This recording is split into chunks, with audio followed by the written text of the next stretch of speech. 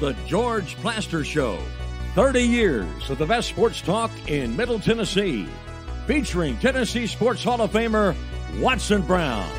And it's a shame it's taken this long to get an introduction for this Tennessee Sports Hall of Famer, Kelly Holcomb, along with young gun Billy Derrick.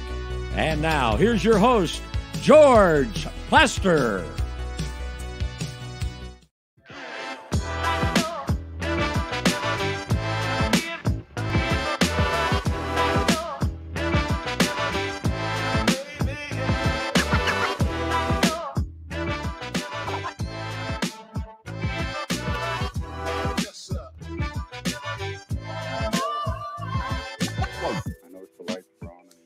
Hello again, everybody. Welcome in. As you can tell, we're not in studio, but we're someplace I love being, and that is at a baseball field. Ken Dugan Field, to be exact, on the campus of Lipscomb University. Vandy and Lipscomb play tonight. This is the first time Vandy has been over here. They were telling me earlier in 14 years they have sold all of the chair backs. And so most everything, if you come around six o'clock, it'll be on one of the two berms. Yeah, it's going to be fun today. Uh, obviously, we were talking to uh, Brian Ryman, the assistant coach over here, and they're excited. I mean, it's not every day you get uh, Power Five, Division One, SEC school obviously a program like Vanderbilt playing here. They had Notre Dame here last year, and they actually took two out of three from Sure Notre did. Dame last year. So this is a good program. Uh, looking forward to having Coach Forehand on. But yeah, and it's a beautiful park. I mean, th- this this field they got it looking really good. You know, I got a history lesson earlier. Growing up, Lipscomb played at a place called Onion Dell. I didn't know anything about Onion Dell. Billy, if you will, give me just a tad bit more ears. Onion Dell uh, was on the back side of this campus back that way. And they Like- moved into Ken Dugan Field uh, years ago. And this is a beautiful facility. And Brian Ryman, uh, when he asked me to do this several weeks ago, there was no way I was saying no. Brian has done so much good in the name of baseball over the years, and we're thrilled to be out here. Jeff Forehand will join us today at three o'clock, assuming that the tent holds up, and so far it is. Let's go to Murfreesboro and say hello to our man, Kelly Holcomb. He's back. What's up, Kel? Kel, fellas. I know, yeah, that's right, well- Billy. I know, I know Billy. I know Billy missed me. That's that's a term of endearment, George. Kel. Billy, I want you to look into the camera and I want you to look into it in all seriousness and tell Kelly, Kelly or Kel or whatever, good Lord, uh, how much you missed him. Kelly, I missed you. I'll be honest. That's it? That's. I mean, I, I Two him. seconds worth? Sounded like a prayer. Let us pray. Well, what what Kelly what Kelly not being here does is is gives me gives me some extra reps. So I'm, I mean, I can't be too happy he's not here because I- if Kelly was here every every show, I yeah. you know it's hard to get a word in. So, edgewise. Kelly, did you take that as sincere? How did you, how'd you feel about it? Yeah, that wasn't very profound, but you know, it is. It is what it is, George. Yeah. You know what I'm saying? I mean, I don't know. Sorry, I had to leave for a few days, Billy. I had other things. I had a wedding to go to. Somebody somebody texted me the other day and said, "How was the wedding?" And I was like, "It's a wedding." Like, how's a wedding supposed to be? You know what I'm saying? Well, Yeah. I mean, you could, Like- it'd be easy to say it was nice. You Well, if it wasn't that. I mean, if it it was nice, it was a beautiful wedding. It was awesome. Uh, but you know, if it wouldn't be for my wife, or if it wouldn't be for wives around the country, Mhm. you couldn't get me into a wedding. Let's just be honest. I unless you're that. family, you know. So while you were gone, I don't know if you're aware of this. Kentucky hired the Pope. I did. I saw that. I saw his little uh his little deal, his little commercial that he put on there, and he had his Kentucky uniform on behind the. He was in front of the BYU Cougars stuff, and he was acting foolish. I guess that's. I guess that's what it takes in nowadays business to get a job. Well, I don't know if you heard this. So they had a press conference and invited the fan base to be there. Not only did they sell out Rupp Arena at about 21,000, which is what they now Wow. configure the place. But they turned away another 5,000. Can you imagine? Wow. Well, that just shows you how crazy Kentucky basketball is, and I think I think the fans are, I think they're ecstatic about it because I, I we we talked about it, and I've talked about it for the last two weeks in this hiring process. But you can't, as a Kentucky fan, you could not have been happy with what's been happening. Now, Calipari brought a lot of great players there, and he won a national championship, and he's he's had a lot of success there. But like he, he says it out loud, like you know, my job is to get these guys to the to the next level. And that's the way that those kids take that. And I think this guy right here can get them back to where they need to be. And I th- he's obviously a pretty good coach. He, he took P- BYU, which I don't think BYU's known for their basketball. Uh, he took them to two NCAA tournaments while, while he was there. So I, I, I think they're ecstatic. I think they're excited about it. I really do. Yeah. Other than Danny Ainge, you're right. There, that's not a school that's known for hoops. But we must. What is that guy doing? Apparently, there are a bunch of people dressed up like that at Rupp Oh Arena. wow! So Pope, he's wow. about to make a papal proclamation there. First, I was confused because I just disregarded the fact his last name is Pope, but I quickly realized, That's what we got going. you know, I, is our hope. I never thought there would be this type of reaction. Like I knew they would probably, I have thought some be people in there. I thought it'd be mixed. but I mean, that was like we got our program back. Yeah. Well, I think what it really says is they had come to hate John Calipari. Yeah, And what they hated, number one, was him lecturing them, which was stupid. Uh, they don't need to be told how to be fans. And secondly, when he put it out there that, you know, my first job is to get them to the NBA, no, it isn't. That I'm not aware fly. that the Yeah. National Basketball Association wrote his check, which, by the way, is a sizable check. The University of Kentucky was his employer. It was Yeah. a dumb thing to say, and it pissed off a bunch of the Commonwealth. yeah. That that was the end of it, Kelly. I think for a lot of Kentucky fans. Number one, they weren't winning anymore. I mean, they That- got to the, the big one. they got to the NCAA tournament, and then this year you lose to an Oakland team, and that was just that was it, Kelly. I mean, they, they I don't think they were going to keep Calipari, whether he decided to leave on his own or they end up. Oh, I don't know. I think there were 33 million reasons why they might. Well, uh, yeah, but I mean, were they going to fire him and and pay him that buyout? Is basically Apparently not. so. You don't think they would have fired him? Well, I mean, Barnhart came out and said, you know, we're we're in in lockstep now. The fact that he looked like a hostage when he did it, you know, brought some people some humor. Anyway, enough of that. You you have an award winning update for Kel. Yep. Is it Kel? Yeah, it's Kel. Okay. I'm confused. Don't be a hater, George. Don't hate. I just thought it was Kelly. George drinking some Don't have- haterade this morning. Yeah, he drank his haterade. He's been drinking it for a week. Really, uh, Actually, um, it was kind of nice while you were gone. I was in a really good mood, upbeat.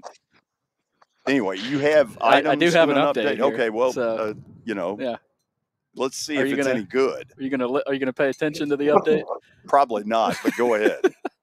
So Michigan is going to serve three years of NCAA probation. They will pay a fine and face recruiting restrictions after the university and five current or former football employees reached an agreement with the NCAA's enforcement staff on recruiting violations and coaching activities by non-coaching staff members. The NCAA announced Hmm. today. Who would that non-coaching staff member be? Uh, what was his name? Connor That's Stalions. Right. That's Th- That took a long time for this to come out, though. No, actually, by NCAA standards, it was pretty quick. Think about it. Well, yeah, it's you're only been right. six months ago. But uh, the agreed upon penalties also include a one year show cause order for the participating event individuals. The portion of the case that involves Jim Harbaugh, who was hired by the Chargers in January, will be considered separately by the Committee on Infractions. So nothing, nothing on Harbaugh yet. Well, I don't know how to tell them this. He don't care. But in case they're not aware, he's the head coach of the LA Chargers. I don't think he cares. Yeah, what what could possibly happen that Oh, I, I don't know. I mean, they punch a hole in SoFi Stadium. Who knows what? Don't let him draft uh, his quarterback, McCarthy. Who knows? I mean, So Michigan, really? Michigan finally being punished per se, I, I guess you could say. Uh, let's see here. The Preds last night they dropped one in Pittsburgh, a Yes, game they they, had to have. Yeah. But uh, now you look at it and they they're still alive for that that seven spot Oh, they're absolutely alive. I mean, because the couple of- Wild beat the Kings last night. Yeah, but there there's a couple of scenarios here where they could be the seven. Uh, another Kings loss Thursday night would do it. A loss by Vegas in one of their next two would, Would do it. guarantee it. Um, you know, look, the the opposition in these things is not really very stiff. It's Anaheim and the Blackhawks. Yeah. There's a real shot now the Preds are going to Dallas. And if that's the case, I think they get a harder opponent. But on the flip side, they get way less travel. And they're going to have to sort of use that as an encouragement point, you know, if that's what they end up having to do. Yeah, it's going to be crazy to, to just see. I mean, number one, who they play, but also number two, do they have to go to Vancouver and all you know all that travel, or do they just have to go over to Dallas? So because the travel in the western, you know, it's one thing when Pittsburgh and Washington play. They could walk there. Yeah. But, you know, going from you know, Nashville to Vancouver and being tied to the same number of rest days that the East is is totally unfair. yeah. Um so what we've got right now is the Preds matched up with Dallas if the playoffs started tonight, and they would play actually the winner. that's not true. If it started tonight, they'd play the Canucks. I mean, this is updated this morning. This is I don't care what it is. I pay pretty dadgum close attention. I think it's fair to say No, I, I, think know. you're wrong here, Well, George. I think I'm right. Well, I think Whichever- I think he's wrong too. Well, whichever website. I mean, Matt- where are you getting? What's your source? me, exactly. You're to, you're dead wrong on this. no, I, I don't think I am. Um, at the moment, I'm looking forward If- to this proof. if the season stopped today, the Predators would take on Vancouver. I mean, I'm sorry that that's the truth. Well, I'll have to uh, I'll have to do Yeah, my research Well, here. you do that. That won't take long. I want to I want to prove you wrong so bad. Well, I, right here. sure you do. Um, Anyway, nobody wants to on. care about I'll, this. I'll find some proof here in a minute and read it to you. I'm sure you will. Yes. Uh, anyway, we've got uh, some live golf news. Rory McIlroy obviously was in the news. He said he plans to finish his career on the PGA Tour. He denied a published report by a London newspaper that he had been offered 850 million in an equity state state stake. Can't say that in the Live Golf League. McIlroy said neither he nor his agents have ever discussed a potential deal to lure him to Live, which is being financed by the PIF, of course. So, and McIlroy said, honestly, don't know how these things get started. I've never been offered a member uh, from Live, and I've never contemplated going to Live. Again, I think I've made it clear over the past two years. I don't think it's something for me.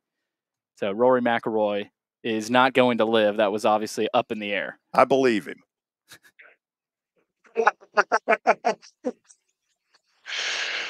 He's talked a lot though. He's t- he's talked a lot, and I'm sure if that if that did happen and 850 million was thrown out there, I'm sure he's like, golly, I shouldn't have been running my mouth like this. You know, That's a lot Current of money. playoff matchups, according to E ESPN in the Western Conference, Vancouver would take on Nashville.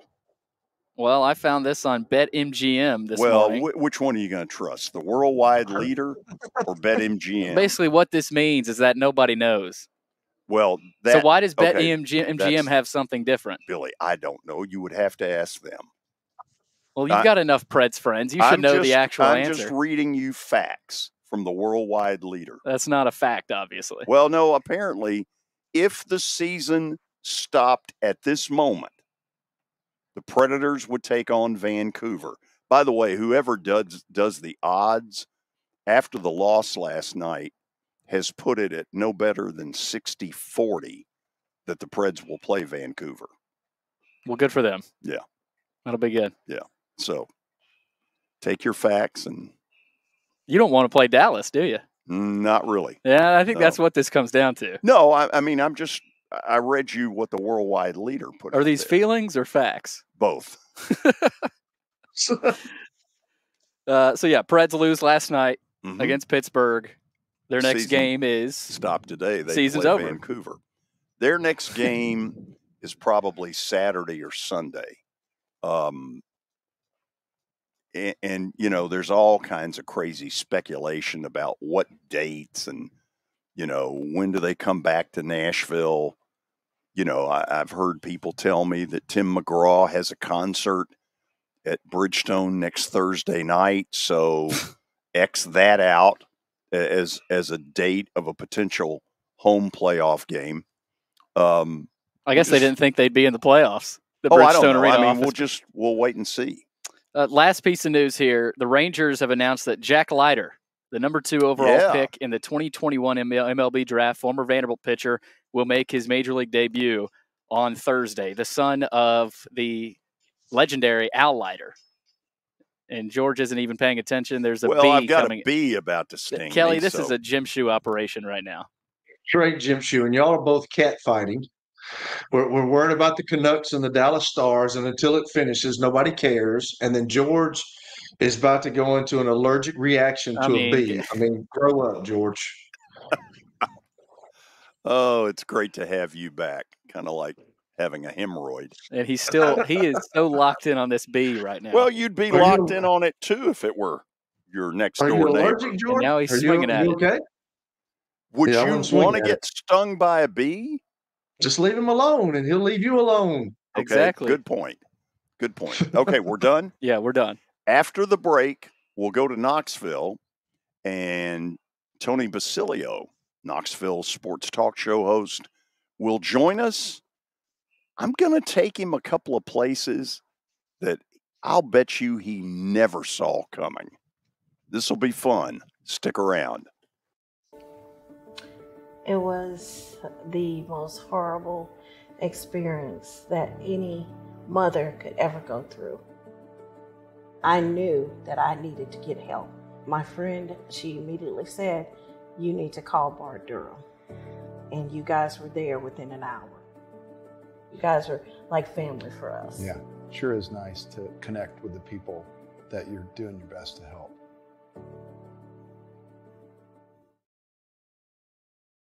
As the trusted premier custom home builder in Middle Tennessee, Donnelly Timmons has over 20 years of experience in the industry. Whether you're looking to build your dream home or renovate your current home, their team will ensure that every client and every remodel is unique, luxurious, and completed on time within budget. Founders Dustin Timmons and Joey Donnelly have over 25 years of construction experience in the Nashville area. Together, they have completed projects in Forest Hills, Oak Hill, Green Hills, Franklin, and Brentwood. Dustin and Joey believe that communication is the most important aspect of all construction projects. Therefore, they personally manage each project themselves and are involved in job site activities on a daily basis. Their commitment to quality and integrity has earned them an outstanding reputation among their clients. Contact them to set an appointment for a free consultation or to view some of their completed projects. Give them a call at 615 456 7983 or log on to donnellytimmons.com.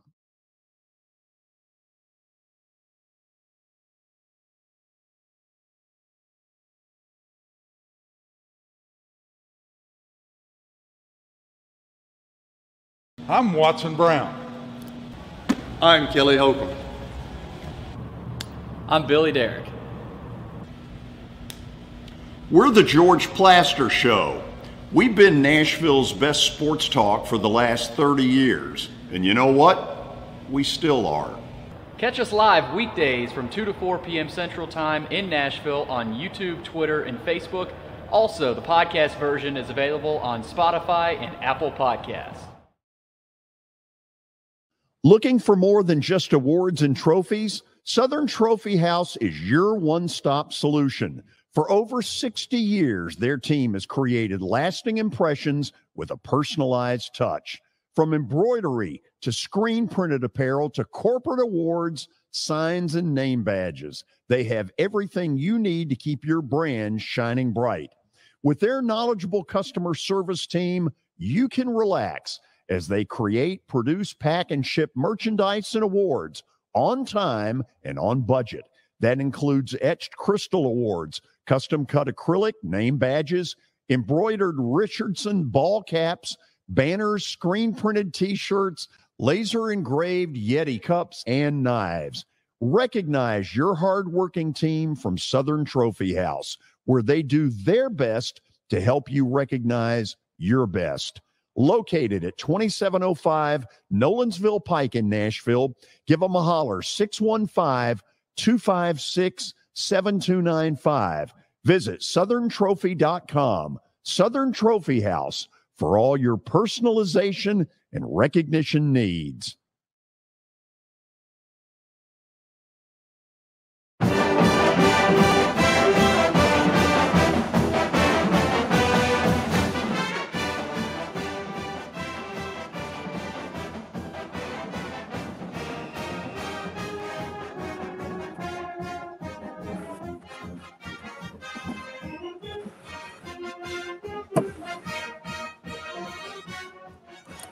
We have late developments from Ken Dugan Field. Suddenly, when the bee approached Billy, then things really changed. He tried to swat him, and a bottle of water that did not have a top on it, uh, that would be this one, um, landed in my lap. And uh, so to say that we've taken on some water, uh, both figuratively and literally. Yeah, this How is about that? this has been a disaster. Yeah. Let's go to Knoxville and say hello to Tony Basilio. He's ready and raring to go. Man, I've got a question for you in a minute that I'll guarantee you never saw coming. And I'll tell you what it is before I ask it. I mean, I'll I'll let you know. But first, give me some reaction to Kentucky hiring the Pope. You know, I, I like that fan base because one minute they were ready to riot, and some of those fans up there were evoking the Schiano Sunday deal that we had here, where our fan base just said, "No, we're not going to take it," and had our own little tea party and turned around a hire. right. And then their their place, you know, there's a saying in in the political world, which George they call party politics. You know, you practice party politics. I don't know that I've ever seen it done to the extent that those people did the other day. I mean, that takes party politics to a new level. One minute you're ready to riot. Three days later, the guy's a conquering hero. We have thousands of people trying to get in and see this guy. Was he healing diseases? I mean, what are we doing here? What are we freaking doing? I mean, I've seen a I've seen a group of people that are sick with something. I mean, imagine if these people had had won something in recent years. What it'll look what it looked like in there. You know, all kidding aside, though, I'm pretty happy for those people because I feel like they're kind of going to get Kentucky basketball back instead of what it's been, which is sort of hijacked under the uh, under the current or under John Calipari, because that one and done stuff, not mixed with core players, is really not what Kentucky basketball is all about. George, I think of our mutual friend uh, Mark Griffin, who back in the day told me something that kind of stuck with me because this isn't true about Tennessee basketball now. He said, but he said, you know, Tony, the thing that makes Kentucky so unique is when you go up there in the off season, those guys are all hanging out with each other because they're all like, you know, they they love the place and they're and they're about the place. Now you can't say that in recent years, but it's almost like there was a responsibility for being a Kentucky basketball player um, that existed before John Calipari got there and uh, Calipari sort of ripped the guts right out of that from under that deal. So I think that's why those people overreacted to that hire uh, the way that they did. Everything I know, and I've watched BYU two or three times this year. He's a good basketball coach. Um, and I'm like you. I think they're taking their program back uh, from where it's been and getting it a little more, you know, uh, blue mist grassroots. And I think they're going to enjoy what's coming. Yeah, I mean, I don't know what how much success this guy is going to have or not have. I had Jeff Goodman on my program yesterday, who's been around this stuff for a long time, and I respect Jeff's, uh, you know, opinion. He does not think that Pope's going to be able to recruit in the waters that Calipari did. I'm not sure you have to though, in this day and age. I mean, what you've got to do is you've got to find people that can play your system, and you still have to be able to defend. Uh, and and look, Kentucky basketball is Kentucky basketball. He's going to win enough, so he'll win there. He'll do okay. Will he have the Final Four national championship success that you know predecessors have had? I wouldn't bet on that, but I do think it's a good story that Kentucky gets to feel like they get their basketball program back, and I do think that's worth something, George. I really do. Oh, I, I'm totally with you. So Goodman is really wired to all this. Does he think they have any shot to keep Reed Sheppard? Um, I didn't, you know, I didn't ask him that because I don't think they do, George. I mean, the guy's a top five pick in the NBA draft. How, why would you come back? I mean, I, I'd ask Kelly Holcomb this. He's got a son that's an athlete. I have a son that played golf in college. One of my son's friends or acquaintance here locally, um, Caleb Surratt, was on Tennessee's golf team, and the Live Tour came to him and said, "We'll give you four million dollars guaranteed if you'll join us." Mm. And he said, "Where can I sign?" I mean, to me, if you're talking about I'm a top five pick in the draft, that's um, what is that like forty-five million dollars guaranteed? Oh. It's some crazy amount of money. Look, It's a boatload. son, we can always go back to Kentucky games when you're 35 years old. You got the rest of your life for that. Go make your money. That's what I would tell them. There's no way I would risk it and come back if I were that kid. And I'm a sentimental and I love college sports as much as the next person, but the money at the next level has gotten so outrageous now that you almost have to take it. You're a lottery winner. Yeah. Okay, so here comes the question that you have no clue is coming. Maybe you've talked about it on your show, then again, maybe you haven't.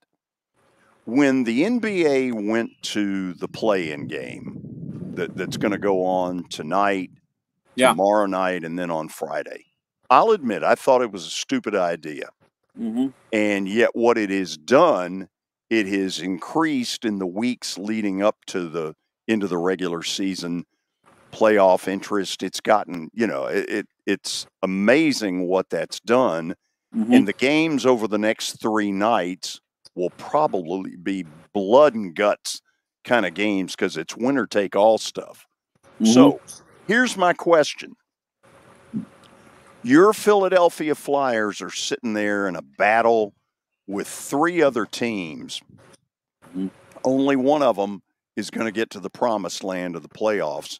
Should the NHL copycat and go to this play in thing? You know, it's a great question because the Flyers are in this. And by the way, thank you to the Nashville Predators for absolutely not trying last night. I just want to say that out loud. um, I really appreciate that. Um, all kidding aside, you know, the thing that separates the NHL from the NBA, if anything does, and maybe that would be a good idea, a one and done type thing. Mm-hmm. Because I think as college fans, we're fascinated by the one and done model when done on the pro level. So why not do that when you can do it? You know, like that that early season tournament that the NBA had this year that a lot of people panned. I think in time that will pick up momentum. Um, if there's one thing I would do to change that though is I would take the final eight teams and I would put them in the same place in the same weekend and let that thing have a real tournament feel instead of just a couple teams out there in Vegas like they did this time around. Yeah. Um, but yeah, George, why not? I mean, the Flyers are involved in a thing tonight where we're going to be scoreboard watching with Montreal and the Red Wings. Uh, the Flyers will play Washington, and then we'll be scoreboard watching uh, with the uh, Pittsburgh Penguins and the Islanders tomorrow night. Flyers need several things to go well because, of course, it's a Philadelphia team sport, which means they had to have an eight game losing streak uh, right there at the end of the season. Because what would Philadelphia sports be without a you know an eight game losing streak? Okay, but I am me- for that. Yeah, Okay, let me bring Kelly in. To I have this. a question for him. I have a question for him. Okay, you you start it then. Kelly, Our also Harry- unmute your Harry- mic if you're able to. Kelly, buenas noches. Buenos dias. How we doing? How we doing? Muy bien. You just you just muted yourself again. oh, There you go. speaking go, of Kelly. gym shoe operation. Kelly, how does Jim it feel Shea. to be? How's it feel to be dialed in? All right, Kelly, here's a question for you. I got to ask Yes, this today on the air. Actually, I was talking with the great Adam Sparks. We were talking about the Herring kid that just went into the portal, whose younger I was brother, about to ask you obvious- that. Yeah. whose younger brother is a younger brother is going to be a star defensive end here, um, but doesn't figure to play a ton this year. How concerned could should Tennessee fans be that one herring went into the portal and another one might follow him? What what what say you as somebody who knows that family? I don't know, man. I've I just heard that this morning, Tony, and I was going to ask you about that. Like, what were the circumstances behind that? I mean, is has Tennessee gotten that good? I mean, Elijah started all those games. Now I know he, I know he came in after somebody got hurt last year, but he played pretty well. Uh, you know, I've always, you know, I, I love the Herring boys. Now, don't get me wrong, but I've always Yeah. said like the the one thing that Elijah lacks is speed. He he he's not a he can't run. Right. And when you when you when you get to the SEC, man, you got to be able to pick him up and put him down. That's always been his deal. Now his brother plays a different spot, and I Right. and I actually think, and this is pretty bad, but I actually think that you know they wanted the younger brother, and they went after the older brother. And I, I don't know if that's correct. I'm not sure if that's correct, but that's how the game's played now. But Elijah, I thought did a pretty good job for him last year. So I don't know, Tony. I, I they are awfully close, and I would not be surprised if Elijah goes somewhere, and I would not be surprised if Caleb followed him. Uh, that would not surprise me, but it also wouldn't surprise me if Caleb stayed put. Uh, I, I I don't know. I just, uh, you know, Caleb's got some things that he's got to work on, but there, there's certain things that he has that nobody else has, and he's got that arm length. He can get beat, and he can grab people, and Right. if he's gotten bigger, which I know he has, he may be able to rush the passer, which I think that would be his forte. Right. So I, I don't know, but I could see it going either way. But I, I was going to ask you, like, what what was like for as much as Elijah played last year, what was the deal? I mean, I I, I I- heard I- that they well- just told him that he needed to go into the portal, and I, I don't understand No, why. I, no, they were they were surprised by it because look, Oh, really? Okay. Uh, Adam Adam Sparks said today he had a list of eight guys that he's already written portal stories on for you know if and when they go in, he already has something written, which is smart. Really? You know, like a template. You know what I mean? Like this Yeah. person had this many tackles and blah blah blah, and that way you kind of work ahead. Right. So, which is what a smart beat writer would do. And then he's anticipating, he's looking at the roster. He said he was not one of the eight. He said Really? he was not one of the eight guys that I thought when I looked at the roster, okay, well, who's going to go into the portal? He was Tennessee's leading tackler last year. yeah. Now, Herring, what's occurred though is Tennessee has changed linebackers coaches. The new linebackers coach's first media opportunity at Tennessee was asked, What's important to you? And he said, Well, what's important to me is speed, speed, and speed. Now, Mhm. Kelly, it does not take a rocket scientist to know. And the thing about the Herring kid is, is that, and we were talking about this on the air today, is he's not, it's not like he's a bad football player or a guy that couldn't play at this level and they ran him off. They, like that, because that does occur at SEC schools. No, what happened is he's just a guy that can't play in space. And you said it. And, and there are linebackers in the modern game today, especially in Tennessee system. And middle linebacker calls for you to play in space. And so when that's not your forte, Adam made a great point. He said, I could see him going to a Big Ten school, yeah. playing in, or, you know, playing in a place like that where they want you inside, where they Right. want you to be a tough between the tackler guy that'll get people on the ground and, you know, a no nonsense meat and potatoes. Like when, like when we were coming up, he'd have been a perfect middle linebacker. He would have fit perfectly because you don't, you know, today, today it's so hybrid, you know, the things you're asking of linebackers today. And that's what happened to him. But the, the question now becomes that we're all going to watch here is is Caleb going to follow him? You know, and they're yeah. they're close. Um, you know, and, and and Adam said something interesting, which is maybe what happens is the next school that takes uh, Elijah says, "Hey, let's let, how about if we put together a deal for your brother, you and your brother? Because if you're a Big Ten school, and you can add both those guys, and you have to like overspend off your budget to do it, that'd be really smart. Because Tennessee thinks the world of Caleb Herring. The problem with him is that he's got a guy in front of him this year who in Pierce, who's going to be a high draft pick in the yeah. NFL, and who's a premier player. So, right. you know, there's only so much oil in the ground from that perspective, but I don't think this is one of those deals where they said to him, Hey, son, you've got to hit the bricks. I think it's a deal where the kid was intelligent enough to look at this situation and say, Hey, you know what? There's no room at the end for me. I mean, this this guy here is better than me. This guy here, for what they want to do now, this guy's better, this guy's better, this guy better. You know, he's probably third or fourth on the depth chart, third or fourth at the best uh, on the depth chart right now for, for what they're looking for at his possession. Well, see, that's the same thing that happened to my son. I mean, that, that's what people don't understand too. You get a coaching staff, and he, he just had a coach. He, he had a coaching change.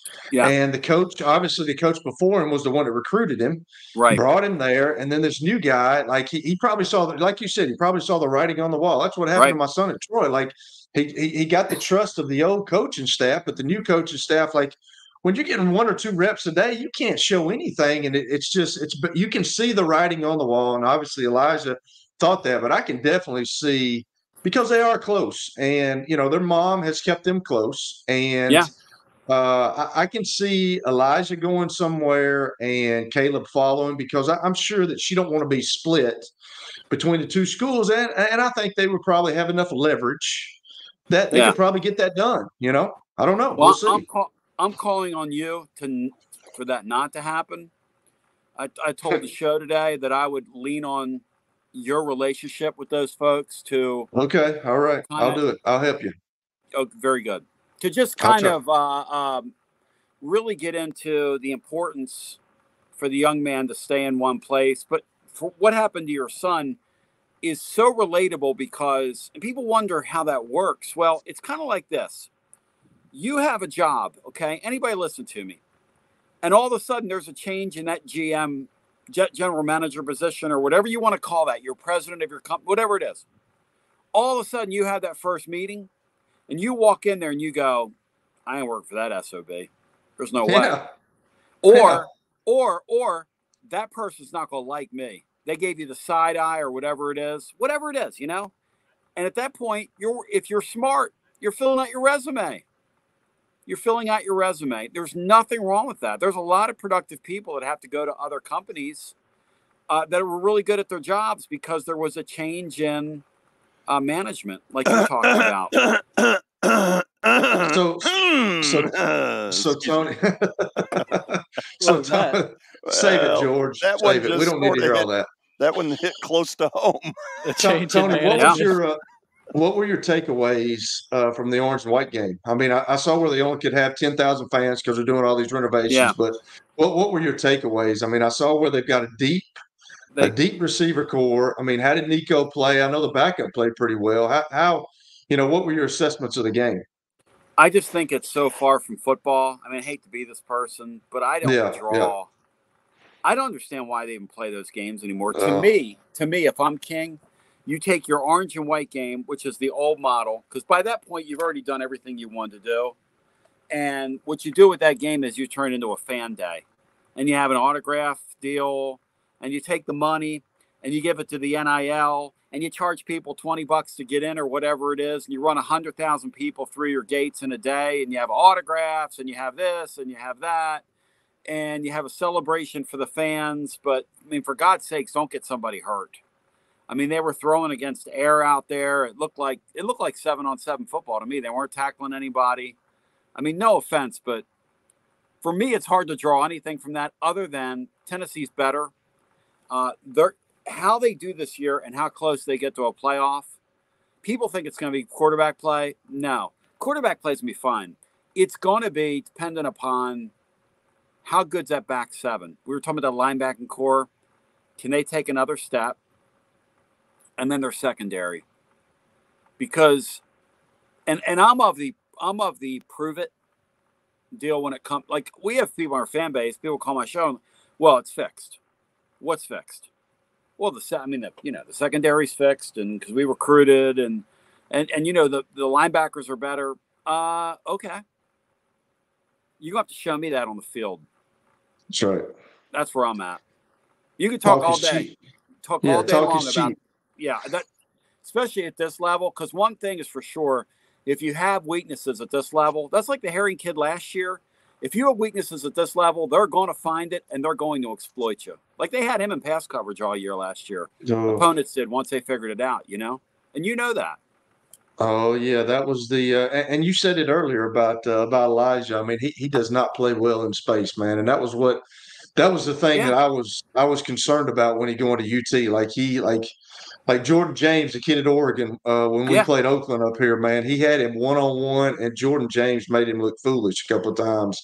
And I'm like, golly, man, that just that just shows you kind of the difference. So kind of changing, kind of changing. This will be my last deal, but I, I saw a little bit you know, talking about baseball, and y'all are number four. But how's Drew Beam? I saw where uh, he had a really, really nice performance the other day and kind of willed the team to win. How's he been playing?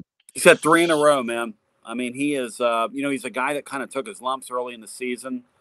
In this league, who hasn't? That's pitching. I mean, guys are teeing off on pitching in this league. Um, but he's bounced back. He's had three solid starts in a row. Tennessee's at Kentucky this week midway point of the season, Kentucky being 15, 15 and one was not on my sing- single card, Kelly. I'll have to be honest with you, but uh, it's going to be a really hard fought series up there. Kentucky does what they do, and they do it well. And Tennessee just finds a way under Tony Vitello. If you'd have told me a couple weeks ago that that team would be uh, sitting there at 11 and 4 at this point in the season in this league, I'd have said there's no way in the world that's true. But that's where they are, and um, they just find ways to win under him. I, I, I, don't know. I, I can't figure it out. Other than they know what they're doing, and they've got a lot of uh, they got a lot of bats. They can really hammer the baseball. This team can. They absolutely mash the baseball. And, and tell oh, me, mash it. For for me, can they go up there and, and mash? I mean, Kentucky's good. They got three really good starting pitchers. How do they go up there and and and do that? I mean, do you think? this is I don't know if you've read up on Kentucky or have had any yeah. Kentucky guests on your show yet, but yeah. what have you heard about Kentucky and can Tennessee go up there and and and sweep like they did against LSU? I'm now that's probably out no. of the equation, but no. I mean how how do they win this series? I guess how do they go up there and do it? They're going to play really well defensively. You know, uh, Mingione, the coach for Kentucky's philosophy, and he's verbalized this. he likes Josh Heupel he puts his team together with the goal of putting pressure on a defense, whether mm-hmm. that's running the bases uh, aggressively, bunting the ball when you have to. But there is a misconception about Kentucky that they only play the inside game. They were down six runs to Auburn in a game over the weekend, and they hit seven home runs on the, in that series, and they hit mm. two big ones to get back in that game. So they they came for multiple runs down on the road, a sweep on the road, of of Auburn. So, you know, the the truth is, this big ballpark is going to be interesting because Tennessee's got a great, great outfield defensively. Uh, Dylan Dreiling is an excellent player. He's and a stud. Tony Tony was doing a um, uh, speech a couple weeks ago, like a private deal, and he and he ripped me during the speech, and he said, "You know, do you guys know who this Tony Basilio?" And people say, "Yeah, yeah." He Tony said, "Well, you know, I can't go on this guy's show without him mentioning that Dylan Dreiling uh, sat on my bench last year and we hardly played him. hey, Tony, Dylan Dreiling sat on your bench last year and you hardly played him. Why? I mean, just I'm just asking for a friend. So the the truth is he is an absolute stud and he's a great fielder. They're very good in center field. They're very good in right field. And you know, Billy, that ballpark is a lot bigger than the one the Vols play in. Mm-hmm. And so that's going to be tracking balls down, running balls down in the gap is going to be a big deal this weekend. These two teams are both really good uh, defensively. I think Kentucky's infield's better than Tennessee's, and that's my concern. My concern is they're going to bunt the ball, put the ball on the ground. They're going to force Tennessee to make decisions, make plays, run, put pressure on the Vols. Um, but look, when you have the offense Tennessee has, that plays anywhere. Uh, my goal, if I'm Tennessee, is to get two out of three this weekend. If I get one out of three, I live with it. That's that's my goal, though, to get two out of three. Tony, let me ask this before we run. Barring collapses, are both of those programs guaranteed to host Super Regional if they get there? George, I don't know. You know, Billy's better, more, more um, versed on it. Verse, you got to win 18 games in this league if you want to host. Is what I've always Yeah. been told. 18 is a magic number. If you would get to 18 wins, you'll host a Super Regional out of this league. Tennessee's sitting there, like I said before. Uh, I guess they're 11 and 11 and four right now. I guess is the number. Yeah. Is that right? Or no, 11 and five. Was it 15 games? So it's 15. 10. It's uh, 11 and five. I think is the number. Yeah. Anyway, 10 and six, whatever the number is. Um, so they've got some work to do to get to 18, and you know they've got the likes on their schedule of uh, at Florida, which I know Florida is not very good right now. At Kentucky, at uh, Nashville, at Vanderbilt. And look, Vandy's kind of scuffling around right now. Mm-hmm. Vanderbilt will be damn ready when Tennessee rolls in there. You know it, and I know it, and, and Billy knows it, and everybody knows it for what Billy- has happened the last couple of years. I think Vanderbilt's lost what seven or eight straight to Tennessee. Billy, is that the number? It's some I crazy think it's number. eight. It's up to eight now. Billy There's plans no way to be up on the continues. roof with a flag. um, I mean, there's just no way. Vanderbilt's too proud. There's no way. You know, you say that we that's what a lot of people were saying last year. You know, after the sweep a couple years ago at home, and they said, "Well, Yeah. Tennessee's down," and we talked about it last year. Oh yeah. But like you said, Tony Vitello finds a way, and you got to give credit to when, him. And when when is- when's that series here? May 11th, uh, or May 10th through 12th. So Wow. Yeah, like okay. a month. Month away. fun. Will Vandy Uh, right the ship by then, Billy? Yeah, they got a couple. They got Florida at home this weekend, and then they got Mississippi State, a couple of teams that have dropped from the rankings. Um, but those teams are still good. Um, they actually play Lipscomb here today. I know Tennessee has had That's trouble. fun. Yeah, so it'll be fun. But yeah, I think they should, Tony. It's hard to sweep anybody, uh, but anytime you can, like Tennessee just did against LSU, it's just huge. So I, I think I think they will, and I think they'll have some confidence heading into that. But I think for both teams, no matter how they're playing, it'll be it'll be fun. I love Uh, that Lipscomb team. You guys have that's beautiful behind you there, and I Yeah. love that. It's a team. They nice play park. a- they play a really clean version of the game. I like watching them. They got a good head coach in Jeff Forehand. He's about 10, 15 minutes away from joining Yeah. us. Tell people how they can hear you. Yeah, tclub.team is where our uh, blog is every day. Again, tclub.team. And, you know, guys, I, I just love what I do and get a chance to do it every day. And uh, this is a great time of the year. This transfer portal in basketball is sheer madness. Who's coming, who's going? Sometimes on the same day, the same guys Yes. are coming and going. Um, I don't know if you saw the story at Louisville today, but there's more things going on uh, and by the way, did you guys see the story about Keyshawn Lawrence? Did you guys see this? I saw that At it was Ole a Miss? different. It was a different Keyshawn Lawrence. It Yeah. wasn't. so everybody thought Keyshawn Lawrence was entering the portal again after transferring from Oklahoma to Ole Miss, but it was another Keyshawn Lawrence who was a actually. walk on George by the same name. Uh, What are the need. odds of that? Yeah, what if, that's all we need in the transfer portal 2024. Two kids with the same name God. playing at the same program. Confusing to say the least. Tony, Appreciate- see you next week. Guys. Thank you. Thank you, Thanks, guys. Tony. Okay, great stuff from Tony as always. After the break, I'm going to ask these guys the same question I asked Tony about play-in games. Stay with us.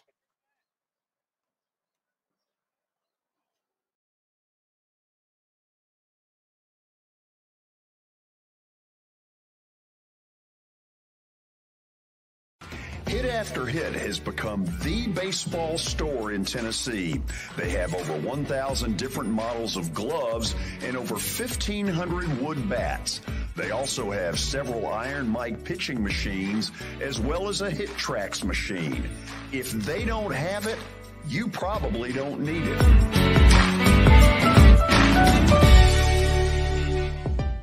We're proud to call Hit After Hit the official shirt provider of the Plaster and Friends Celebrity Bowling Night.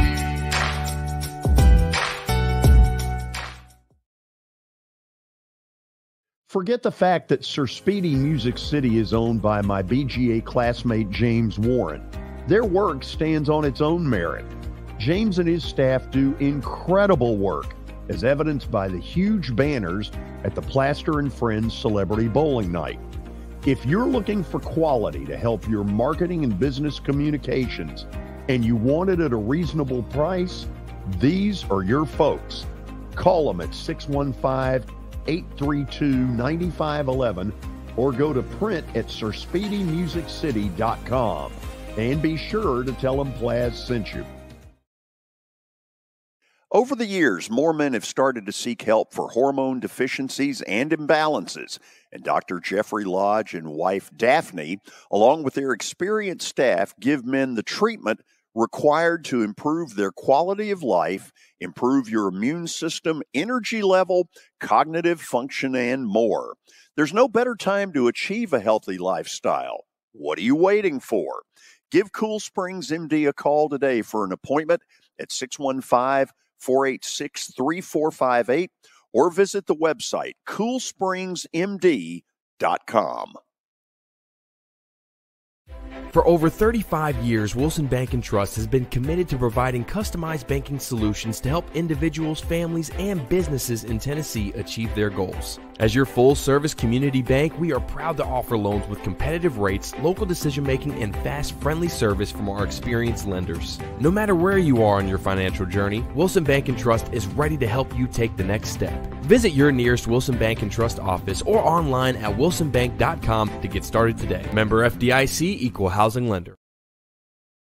Convenience and value, two words that we expect when we do business. Our goal at JHA Company is to deliver just that both to our school partners and to our customers. Whether you're purchasing photos, yearbooks, class jewelry, letter jackets, school spirit wear, or senior graduation products, we strive to make the experience easy, convenient, and cost effective. Find out more at jhacompany.com or call 615 867 6345 for more information.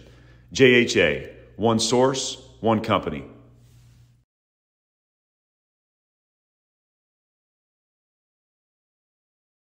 Star Physical Therapy was established in 1997 with one great mission to serve.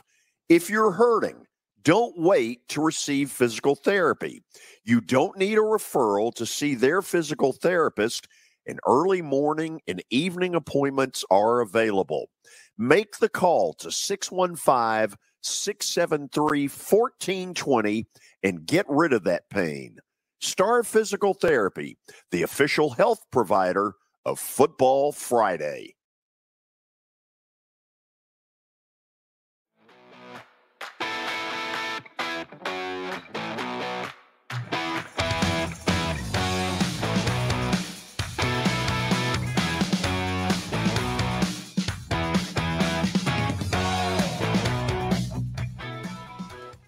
Okay, so we welcome all of you back on what is a beautiful Tuesday afternoon. Boy, the weather could not be better.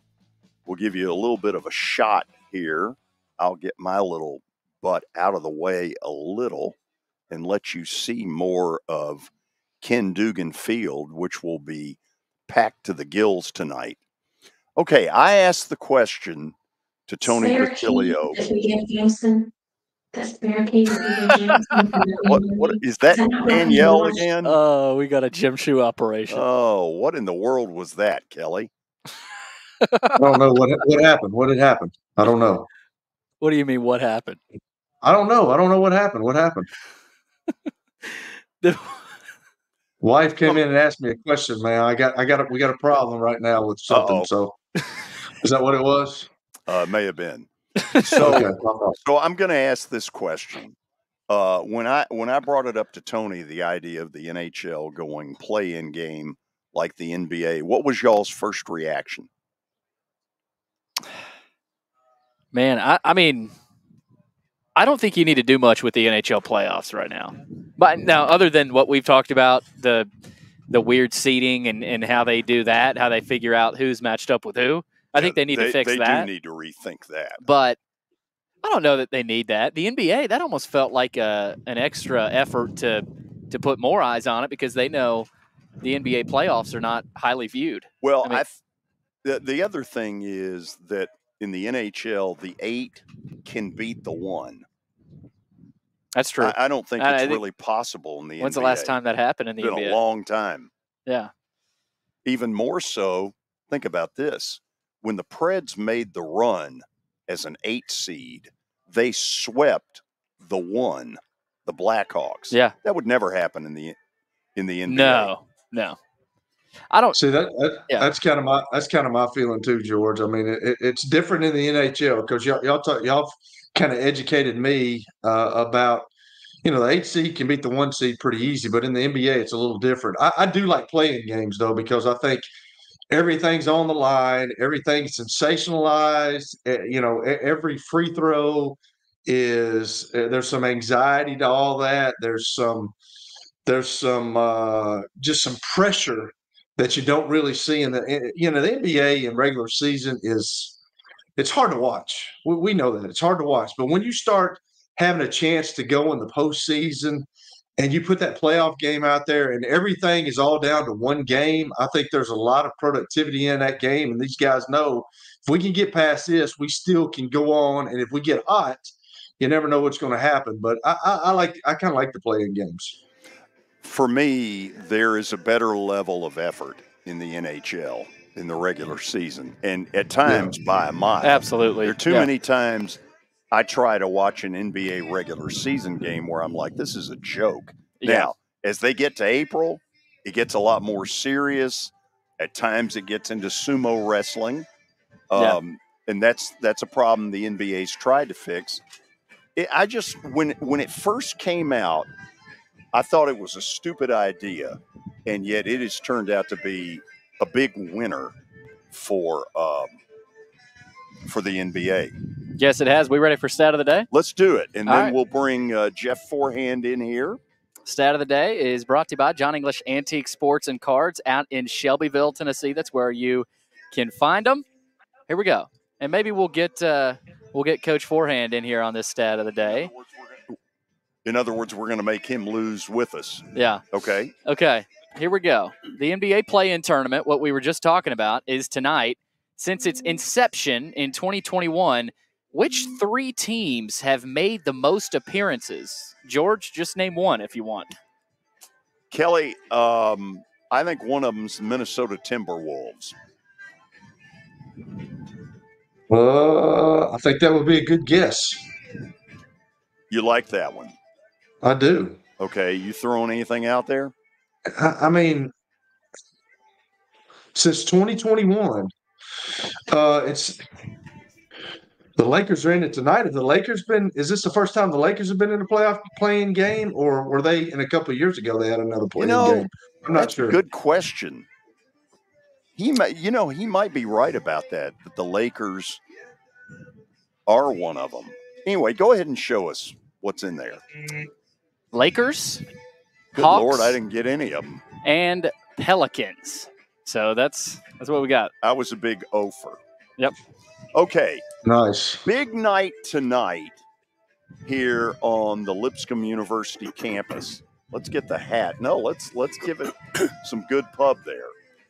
That is Jeff Forehand. He is the head baseball coach at Lipscomb University. I've known Jeff for God, we're not going to say how long. Thank you for hosting us. This is terrific. Well, you know, beautiful day. You know, we've got a, you know, should have a good crowd tonight. Should have a, uh, you know, perfect day to, to, uh, to showcase Lipscomb University. And I appreciate you guys doing the show from here and the whole deal. But uh, always grateful to, to be on with you guys. Absolutely. Listen, tell me how you got Vandy to agree to come over here because in recent years it's been out at the Sound Stadium and I guess there's a change at least this year. Well, last year when we played out there, it, it rained out after Oh, I after three innings, and Yeah. you know, and and Tim just said, you know, let's just when we make this up, both of us for whatever reason didn't have a game the following Tuesday, so we we replayed the game on Tuesday over at their place, and he just said, let's just instead of trying to get it all set back up down there, you know, he was gracious enough to play over there this last year, and then he said, and we'll just come over and play you guys at, at your place next year, which I thought was really gracious. So grateful for uh, for Tim for doing that. So, talk to me about at your level. You got Notre Dame here a year ago for a three game series that went over huge. Doesn't hurt that you won two out of three. And now you get Vandy over here. What does it do for a program when one of the big boys comes to you? Well, I think you know Notre Dame in, in their right mind. You know, they it's a little bit warmer, so they they right. made the they made the trek. You know, for the warm weather. You know, and anytime that uh, you know we can get a, a, Power Five on campus, I think it's a big deal. Uh, next year we uh, we have Kentucky and West Virginia for a three game series at home, so that's uh, that's a big deal. So anytime we have that opportunity to, to do it, you know, our our school does a great job of uh, of showcasing it when we do have those opportunities, and everybody's worked hard today to to make sure that you know we can accommodate what we hope is going to be a good crowd. So, is it just simply the big boys wanting to get out of the freezing cold and get to some level of warmer climate? Yeah, that's what it normally is when we get when we get though. We had Ohio State here a few years ago, and you know, it's just those opportunities for them to, to play in a little bit warmer. And as well, us Nashvillians know, sometimes February 15th is not warm, but no. uh, we're going to keep fooling them if they want to keep coming. Okay, now Kelly Holcomb is with us from Murfreesboro. Kelly, if you've got something, fire it. If you don't, no problem. Rosa, I was just thinking, like the uh, a couple years ago, you went up to uh, you went up to UT and you, you guys beat UT, and they were really good that year and uh, how much different of an atmosphere, especially being at home with a with an SEC school school that's right across town that's had so much success. Like like how much anticipation or how much do the kids get involved in this, or is it just another baseball game? Well, you like to just say it's another game, you know, but when you're playing a you know team that's year in and year out, top top ten in the country, and they're coming to your place, that just doesn't happen doesn't happen all the time. And you know, I think that uh, you know if you ask them, and we try to treat it like it's another game, but you know, I do think that uh, you know all these guys that are on our team, they had aspirations at one point to to play on a Power Five team, and I don't think uh, I like to think now that they've been at Lipscomb, they wouldn't trade it for the world, but you know, they all would, wanted that opportunity back when uh, their recruiting days were happening, and you know, we've got a lot of those guys that that have been to the Power Five and back and bounced back to us. So again, we can we can uh, we can talk about it all we want to, but I do think it's a you know it has a little bit more of a special quality to it than uh, than a regular Tuesday game. But again, heck, a regular Tuesday game's winning a college baseball game against a Power Five or even a mid major on Tuesday, Friday, Saturday, or Sunday is a hard a hard thing. But uh, just grateful for, like we said earlier, that uh, that Tim and, and and and his crew that agreed to to come over here and do this because he for sure doesn't have to. It just shows what kind of a what kind of a class act he is. Coach, so uh, you, you seem like kind of an old school guy, and with the way that the college landscape has changed, obviously we talk a lot about football and basketball, but how has the college landscape changed for you in, in, baseball? I know that I know that y'all go out and y'all used to get a, but y'all still get a lot of guys from JUCO. But is it uh, how different is it with the transfer portal era? And what are your thoughts on that? Well, we we might need a whole nother show for uh, for that. But it's uh, actually I was just in the inside talking to one of the basketball coaches about it just just a few minutes ago before I came out here, and you know it has changed it. And you're right, I am old school guy, and I guess I yearn for the days of you know how it used to be, where you know we just you know everybody just laced them up and and we played. But you know nowadays it's like, I, and honestly, it's hard for for me or any other mid-major coach to to tell a kid that that he didn't get a good deal when he's getting six figures and school paid for and his living expenses paid for and his eating paid for and you know I, it's just hard for me to say that man you shouldn't you shouldn't do that because that's in my heart of hearts that's a that's a great opportunity for for any kid but uh, you know the worst thing about it is that if we if we get a freshman in here and he plays too good then he's got that option to go on to the Power Five. And we get a freshman in here that needs to develop, and he's playing behind, like you said, one of those junior college guys or transfers guys that we have, and then he's not getting to play as quickly as he wants. Then he leaves. So the the the the happy meeting of trying to keep them here is really really a difficult thing. And um, you know, I think you know we're dealing with it with our basketball team right now with with uh you know two or three guys moving on and again, good deals for them, but bad deals for us. Same thing, you know, down the street with Casey and those guys at, at Belmont. So, you know, I, I think it's just the you know, the rules make it to where it, it is what it is, and that that statement sometimes I don't really enjoy it, but you know, it is what it is, and I, I hate that that we're that the rules are like they are to put kids in that position, but it's just really difficult for for me to tell a kid that that's not a, a good deal when they get that opportunity. And this this will be my last question. Uh, you know, you know, everybody's seen the movie Moneyball and, and Brad Pitt on there, and with Billy Beane and all the analytics. Are you an analytics guy? Or are you a kind of field guy? Because you, you seem well, you see you know you're an old school guy, but and I know analytics comes into play on some of those things. And, and I've never been an analytics guy. I don't know, but what what what are your thoughts on the analytics of the game? Well, we've had to, you know, we've had to invest some money in in that. And again, I'm I am an old school guy. I would prefer just to like I said, lace them up and play. But uh, you know, we have dove in. You know, we've dived into that a little bit with uh, with we got one of our graduate assistant is fabulous, and he does a, a wonderful job at helping us with the scouting reports and all of the you know the the information that we can have you know on all the teams that we play. But you know, the analytical part of it, you can't. I think I don't think you can ignore it because I think it's got to be a blend now of, of of you know the old school way and the new school way. So I'm uh, I'm happy that. Uh, we've got some guys helping helping the old ball coach figure those things out. So uh, we got a good a crack staff that helps us with that. Coach, uh, this field is beautiful. I mean, it looks awesome, and uh, obviously, we were talking to Coach Brian Ryman earlier about about the fence and you know the new lacing in it and everything. But the name of it, Ken Dugan, his grand is it his grandson correct? That's on the team now. Yes. Okay, uh, Will. Will. So Will Dugan obviously went to the academy. Now he's here what does that mean and, and what was that process like of getting him i don't know if it was hard or easy but well, what's it like having him on the team and also just having another dugan well unfortunately he's been injured since he's been here so he's trying to continue to get back but you know coach dugan goes way back to to my dad and you know my dad was a, if people don't know my dad was a coach around here for you know 30, 40 years and him and coach dugan were you know friends and kind of did it the same way and you know coach dugan you know i played down the street at belmont and I wasn't good enough. He, I wasn't good enough for Coach Dugan to recruit here. Um, but uh, so I went down the street and played at Belmont. But uh, you know, from from Mike Will's dad, you know, co- coach's uh, coach's son played here. We've been friends since you know, God for 25 years, and and if we'll have the opportunity to come over and play is really special. And actually, um, you know, the number 20 is retired, but if you notice, Will wears number 20. I, I, um, heard about that. We yeah. uh, we talked about that, you know, with uh, with uh, Will's grandma, and she agreed to, to allow him to wear it. So once he's finished wearing it, it won't nobody will wear it anymore. Really that cool. Is, that is a very cool That's story. awesome. So tell me this: on one hand, you'd love nothing better than to throw all your eggs into beating a Vanderbilt. But at this time of the year, you got conference play, and that's where it really matters so, how do you go about pitching them tonight? Well, if if you had any suggestions, I, I would need to know. But uh, you know, uh, we, we put ourselves in a in, in, a difficult spot earlier in the year on Tuesday. We we, we kind of spin our bullpen a little bit more than we should have. You know, we we pitched some guys.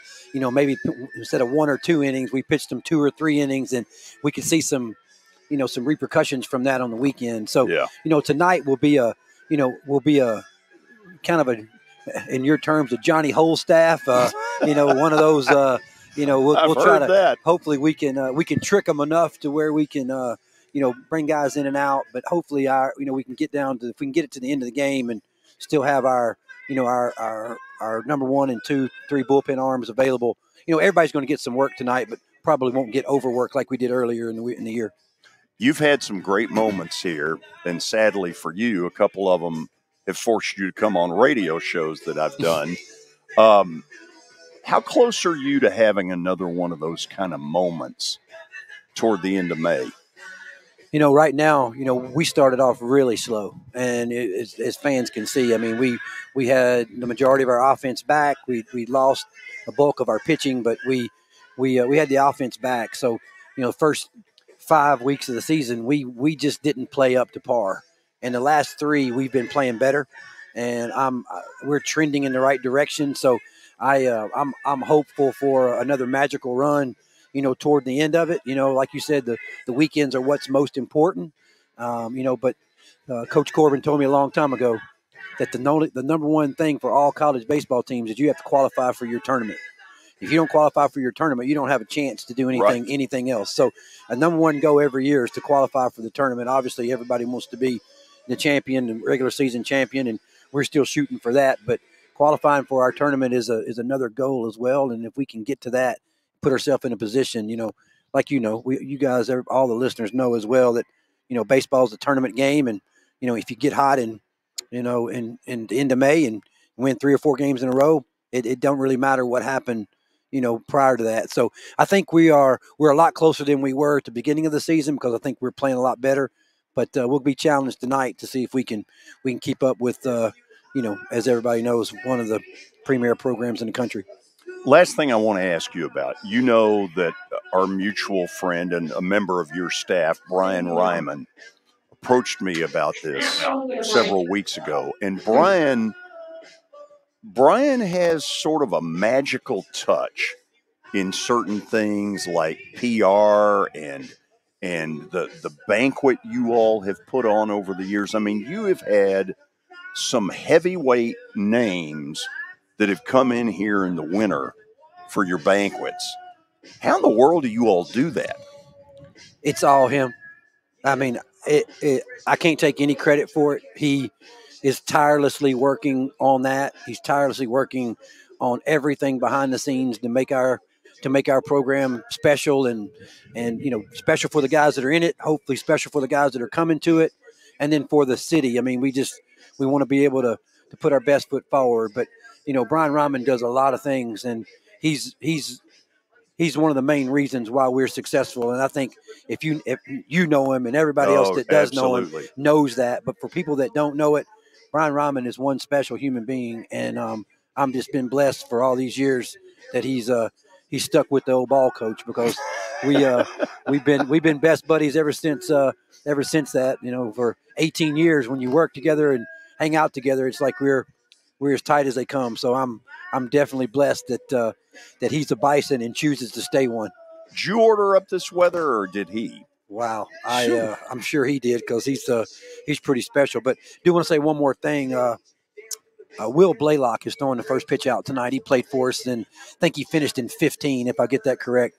Um, and he had a, a bad ATV accident two Novembers ago, and uh, has worked his way back to to health. And he's uh, finally we, we've asked him. You know, he just finally felt ready to be able to do it. He's going to be out here tonight with uh, with all of his with his family and and friends and former teammates and you know just an opportunity for him. He hadn't been back on the field and he's been practicing to throw the first pitch out. So if you guys get a chance to say hello to him, it'd be something special. So he's Absolutely. Uh, he's a great fine young man, Will Blaylock. Will this be the largest crowd you've ever put in here? Could be. We had a good crowd against Notre Dame. Um, it was standing room only for them, and but I think tonight might might might uh, might beat that.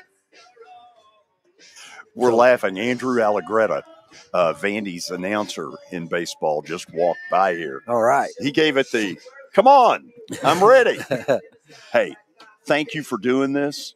Uh, thrilled to be here. It is fun to be out of a studio and nothing against where we are because folks at Ford Ice Center have taken care of us out in Bellevue. But it is never a bad day when you broadcast from a ballpark. That's exactly right, George. You're the man always, man. I'm we the city's blessed to have you guys, and I'm always honored when you when you ask me to be on. Keep saying it and see if anybody buys it. We'll keep fooling them, right? Thanks, Coach. Thanks, man. Coach Jeff Forehand joining us after the break. Jeff Hem, uh, give or take a couple of minutes. We may have to stall around uh, because I think we've got him scheduled at 325. He will join us. We'll talk a little Sounds baseball. Who knows what else we'll do? Stick around. Nashville, get ready for the greatest show on turf. Electrifying, high octane, non-stop spring football action. Starting at only $30. Don't miss the season opener this April 27th at Municipal Auditorium. Hi, I'm Jeff Fisher. The Nashville Cats are bringing arena football back to Nashville. Grab your tickets now at thenashvillecats.com and be part of the action. Star Physical Therapy was established in 1997 with one great mission to serve. If you're hurting, Don't wait to receive physical therapy. You don't need a referral to see their physical therapist, and early morning and evening appointments are available. Make the call to 615 673 1420 and get rid of that pain. Star Physical Therapy, the official health provider of Football Friday. You were in a crash. Yeah. Your kids were in a car with you. We're very lucky to even be telling this story to you. Nikki treated us like family, and she was very caring and loving, and I'm just so grateful for that. She was somebody I could trust, and being a veteran, that's so important to me. My kids are going to have a better life now because I don't have to worry about those expenses that we were out. Your family has really created a legacy of trust, and I would recommend you to anyone. Nashville Sounds Baseball is back in Hit City for the 2024 season. Spend your nights and weekends at the ballpark with weekly giveaways, fireworks shows, throwback deals, live music, and more. Top talent will take the field at First Horizon Park against the AAA Minnesota Twins, Baltimore Orioles, Atlanta Braves, St. Louis Cardinals, Cincinnati Reds, and more. Tickets start at just $10 and are available now at NashvilleSounds.com. We will see you in Hit City. Venture Express has been helping people in this area for more than 40 years. They're headquartered in Murfreesboro with over 30 years of dedicated fleets involving production, manufacturing, and corrugated experiences. They're an asset based company with over 700 tractors, 4,000 trailers, and 800 drivers. If you need their help, dial them up 615 793 9500 or log on to ventureexpress.com. 125 if you add the adjoining town.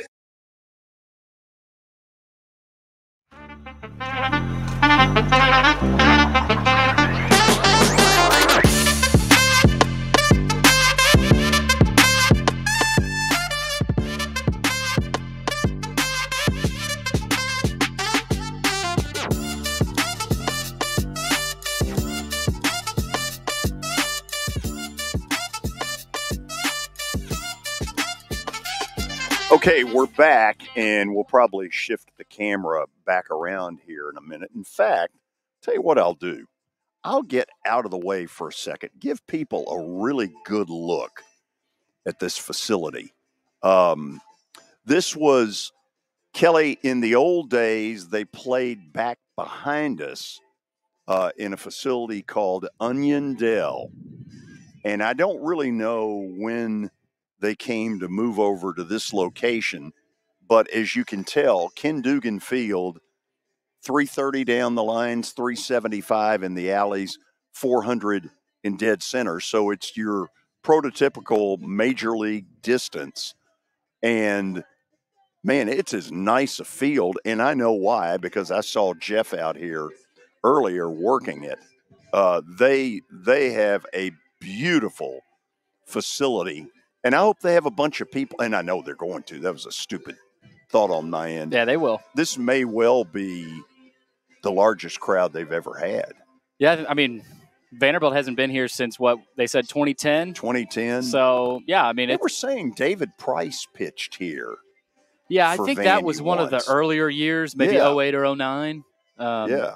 But yeah, I mean, I think they should do this more often. Corbin, I, what a gesture! I figured it was Corbin going to forehand and saying, "Hey, feeling bad probably last year. That you know, Lipscomb. It's a big deal for Lipscomb. You it's and a I big were deal out for- there. It was an awful. Yeah, it was. I was looking forward to, to to seeing them play, but it got rained out last year, and they just moved it over here. So yeah, it's it's a beautiful day though. Yeah. So Kelly, you you know a little bit about this Lipscomb program. Um, you know, I've told this story before when when Jeff made uh, the NCAA tournament. I want to say it was 2008, and that regional was at Georgia. Okay, which on on the surface you think, okay, they have absolutely no shot to win. You know, Georgia's an SEC powerhouse. Well, lo and behold, on a Friday afternoon in the opening game of the tournament, Lipscomb beat Georgia in Athens. And just on a little bit of a hunch, I contacted Mark McGee, who at the time was Lipscomb's sports information director, and I said, Hey, if you all hold on to this, I want Jeff Forehand on the first minute you can get him on. And Kelly, it wasn't 10 minutes after that game was over that he was on with me. And I, I have always remembered that. Yeah, he's a. Uh, I, I got to meet him when my daughter had her ankle uh, issue uh, last year, and what a good what a good guy. My my daughter loves him. Uh, you know, he said he didn't know her well, but then you know they've gotten to know each other a little bit through her process of trying to get healthy. But uh, man, man, you can't ask for a better coach, a better guy to lead a program. And uh, they had a really good team last year. They made it to the uh, they made it into the uh, uh, the was it the regional? Uh, I think they made it to was it a regional, super regional? I can't Last remember. year- But well, they, made it. They they played Texas yes. a few years ago in a super and almost beat them. Yes, You know yes. that's Or right. no, was I that had Tennessee Tech? That was that's my Tennessee bad. That, I think that was. that. I think I that feel was stupid for Tennessee saying Tech. that, but they But have been in think- regionals before. Yeah, and I, and he had a really good team last year. And you look at their record, and they've kind of, like you said, he got got off to a slow start. But uh, you know, I, we were. I I remember, uh, was it last year that they beat UT when UT, or two years ago when they went up to Knoxville and uh, beat UT at Knoxville, and they, you know, they didn't have a great year that year, but they were all they played well that day. And Tennessee, their bashers, you know, were kind of messed up. Their pitching was pretty good, and uh, you, you just can't say enough about what he's done to that program, what he's meant to that program, and I hope they have a good game tonight. I really do. We've got some really good baseball coaches in this area. Dave Jarvis uh, at Belmont has been there forever, highly respected. Uh, Jeff Forehand here. Uh, certainly, Tim Corbin goes without saying. What he has done at Vandy is nothing short of miracle worker. Now over uh, what twenty two year, 22, he- yep. 22 First year was 03, so Yeah. this is his 22nd year. Yeah. And and what he inherited was tough at that time. He really, you know, the the plan was to build the ballpark. I'm trying to think the the the actual Well, they just, I mean, all they had was a small section of seats. You know, they didn't have, they didn't, I don't even think they had the renovated, uh, you know, seats similar to what Lipscomb has right now. I'm sure you've seen it, Kelly, but of course, Vanderbilt got outfield seats and, uh, you know, they got a Jumbotron and looks totally different now. well, let me say this. When when I was in school there, and Kelly, I know you're gonna say, well, that's you know, prehistory. um, they basically had three metal bleachers behind home plate, and everybody else had to um, everybody else had to kind of um, you know fend for themselves. So it's come a long ways since then. I agree. I, I agree. I, I just uh, I, I've been over there to some games, and they've uh, it, it's fun going to see. It's fun sitting out there. I, I understand why you like it. Uh, and, and this time of year, uh, he talked about some of those people coming down here, but in in February, March, April, I mean, sometimes you get days like this, and other times you get 30 degrees. So uh, I think you're just kind of flipping a coin if you're Notre Dame or if you're West Virginia or you're these other teams, Ohio State that he talked about coming down here because it can be brutal down here in these months as well. So uh, I don't know. I'm just uh, I I hope they have a good game tonight, and I hope they play well, and I hope they put on a show, and I hope there's a lot of people that show up. And Coach Forehand, what a what a good guy he is. Just talking to him, you can tell that Oh yeah. you know, I'm sure the kids the kids love him. Uh, they respect him. Uh, you know, I, I've seen them. They they came to a basketball game. They had something to do at halftime, and I, I saw all of them. They, they all look like good young men, and uh, they're being led by a really good man, which is cool. We're in a little bit of a four corner stall, and as soon as Jeff Hem is able to get on with us, we'll uh, we'll proceed. Kelly, let me ask you this real quickly. Jim Wyatt sent me a text uh, earlier today um, about who the Titans' first pick will be, and I I texted him back immediately. The alt kid from Notre Dame, big offensive lineman. Do you do you think differently? I, don't know, George. I, re- I really don't. I think that uh, they, they've got to. They, we know that they've got to get a left tackle, uh, but with them having is the seventh pick. Is that what it is? Eighth seventh pick, overall pick. pick. Yeah, seventh overall pick. Uh, I think with the the depth of this of this draft with tackles, you never know what's going to happen. No, no, nobody's going to tell you the truth. I, I think that I, have heard, and you've heard the same thing, that Ran Carthon loves the the Joe Alt kid. So if he's there, I think they'll probably take him. But if he's not, where, where does that go? I mean, there's always surprises at, big, at the beginning of the draft. All the Mel Kipers and the Todd McShays talk about this. They talk about, hey, he's going here, and we've heard nobody really knows because they're not in those meetings. So I think if you had a blockbuster deal and somebody tried to draft up or trade up to get something, and it was something that you couldn't turn down, and you could move a couple of places, and then you could maybe get an extra extra pick later on in the draft. I think that's something you have to consider. I've always said that I, I think that Brock Bowers is one of those generational dudes that you could get as, at tight end that could that could fill a lot of needs. And you could have him for a long time, and then if you could just slide back a little bit and you, you can get a tackle because there's you know Terry talked about it on the show here. There's a lot of tackles in this draft, but you know if they're, if they're set on Joe Alt, I think that's what you got to get because that's where they're deficient right now. I think if you look at I think you put it up where their offensive line is right now. If you can get a left tackle that you know that's going to be there for 10 or 11 years, I think that's hard to pass up, George. I really do. Okay, uh, let me put you on the spot. What would you do? Oh, I, you know, I'm I'm not trying to dodge this question, but I, I haven't done, I haven't been in all that. I, I don't keep up with all right. that, so I don't know I just keep up all, uh, with it on the on the surface, but I, I don't know how good a, a player to go on with. He's like Bruce Matthews that can be on your team for 15, 16, 17 years. Yeah. Never get hurt, always on the field, always accountable. Uh, I, I, think you probably go get him. But I, I'm just, I know how much I like tight ends, and I don't think they've got one really. I mean, they've got some, but like I think that Brock Bowers is the guy that you could go get. I think with, with adding Calvin Ridley, with having DeAndre Hopkins, with Treylon Burks in the wings, with the Moore kid, which he's gone. Sorry, he's gone. But I, th- I think they've helped themselves offensively with some weapons, and with getting Tony Pollard, and you got the you got the kid from Tulane that played last year, and if you can fix that O line, which I think you can do, and it might not be Joe Alt. It might be somebody down the line, a kid from Penn State or, or the other kid. Uh, I forget where he's from. There's there words I can't pronounce, but I, I, think you could you could probably wait a little bit, and if you could pick Brock Bowers up, that's that's the only question mark that I would have. If not, okay. if I didn't have a question mark, I would take Joe Alt. Okay, that's interesting that Bowers is that intriguing to you because I admit he is for me as well. Let me go out to uh, First Horizon Ballpark from one ballpark to another.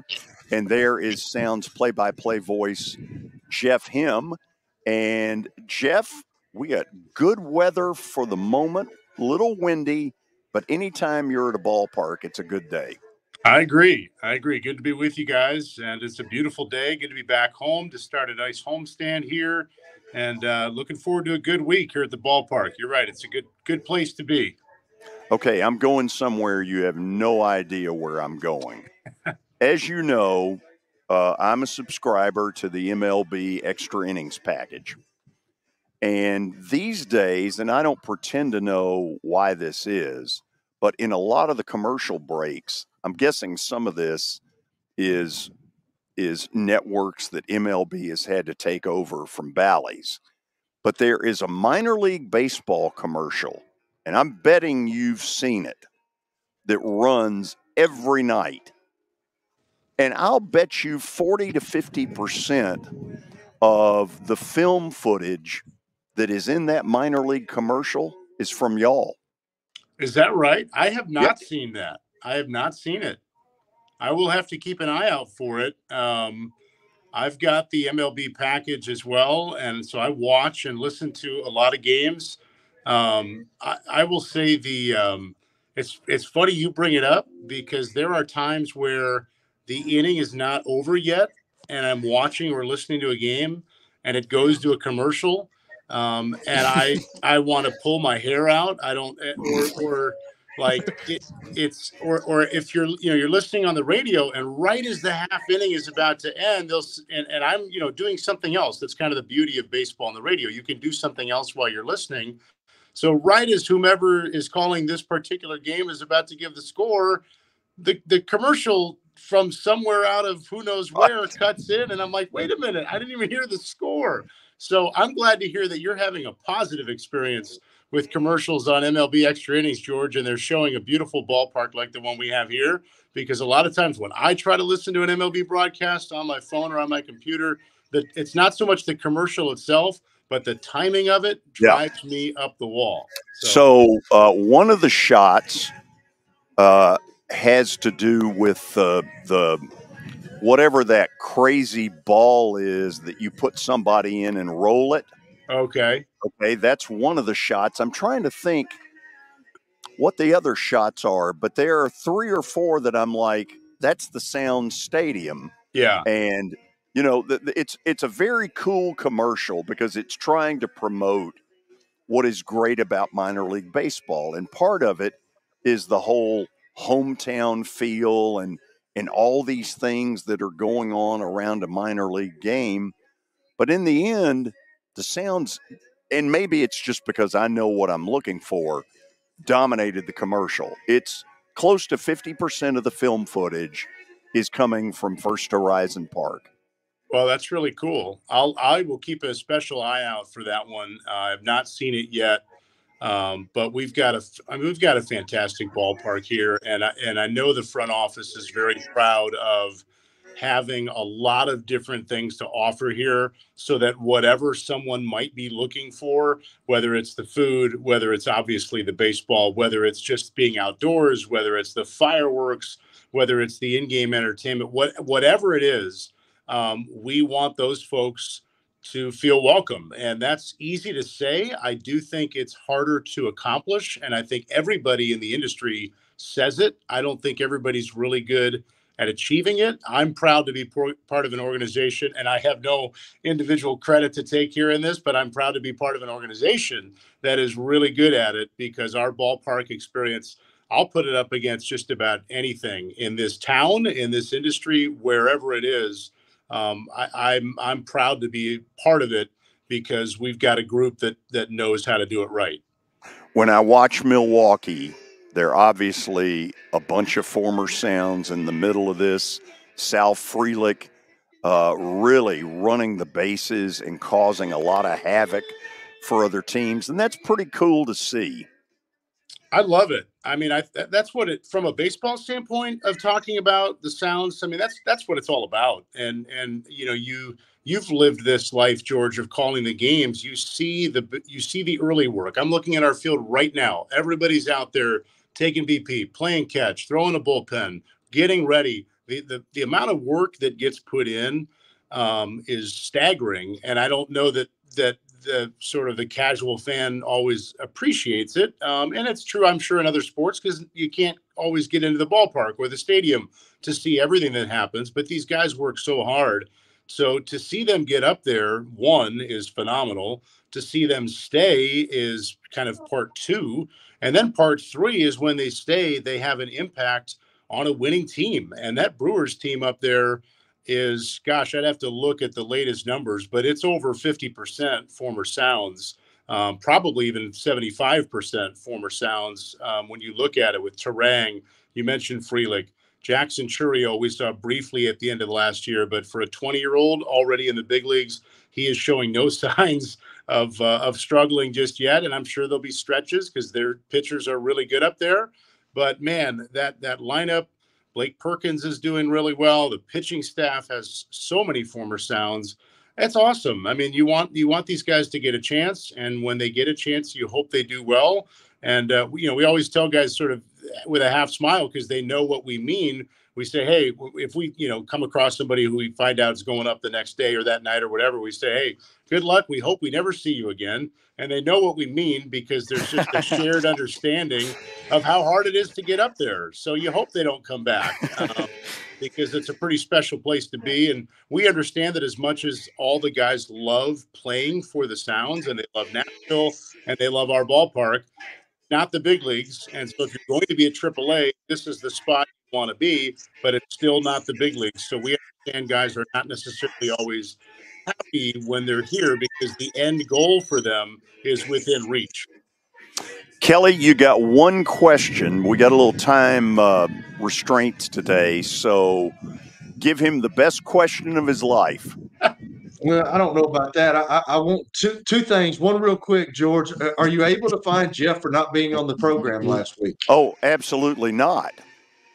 First of all, okay, he came clean and just said, "I forgot." Okay, I, I like admire that. level of honesty. Now, Well, I did let me- today. Let, let me let me add i didn't forget i forgot the time that i committed to and i thought i committed to something 20 minutes later than it was and i realized at the time i thought it was i was 20 minutes late that was a great feeling That's fileable offense, Jeff. Sorry. I said, um, basically, I, I told him that if he forgot today, and I'm not going to say what the penalty was, but it was very harsh sanctions. Well, I'll give Jeff credit. He was doing everything he could to get on today. So I, Oh, he I know he was. He wasn't. He, he wasn't going to miss today. Billy, I'm going to let you see what the sanctions I- were, but you, yes, you have to keep quiet on that. So, Kelly, do you have anything important? Yeah, yeah. I, I just, I just want to let's, let's get into some. no, I don't have How- how do anything do ever that important. I, I don't have anything important, but I, I just want to get a because y'all talk about so much other stuff. Give me, a, give me a little bit about the team. Who you like? How's it going? I know y'all are seven and eight on the season. Kind of a you know so-so start, I guess. But h- how do you think the team is shaping up so far?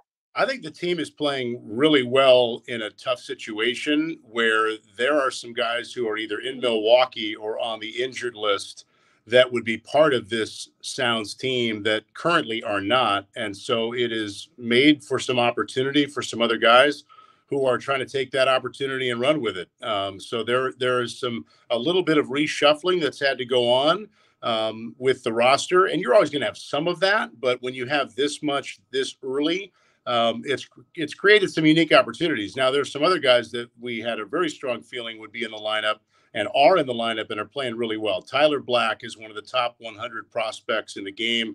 He's in the leadoff spot again tonight for the Sounds. He was absolutely everywhere last week in Memphis. This is a guy that can hit for power. Um, he can get on base. He knows the strike zone well. He's good defensively. He stole 55 bases last year. He is definitely a guy that you'd be you would not be surprised to see find the big leagues at some point this year. Um, in the middle of the order, an outfielder, Brewer Hicklin, is off to a great start. He had a couple of home runs last week, and then there's a there are a couple of veteran catchers that the Brewers had to go out and add to this Sounds team because of a couple of opening weekend injuries.